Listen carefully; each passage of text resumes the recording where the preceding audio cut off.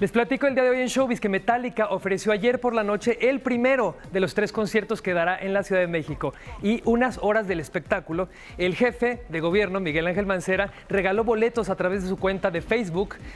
Se me hace un detallazo que últimamente ha estado regalando boletos para los conciertos Miguel Ángel Mancera. Y bueno, aunque no especificó cuántos boletos eran, se podía ganar contestando una pregunta acerca de una campaña contra la violencia.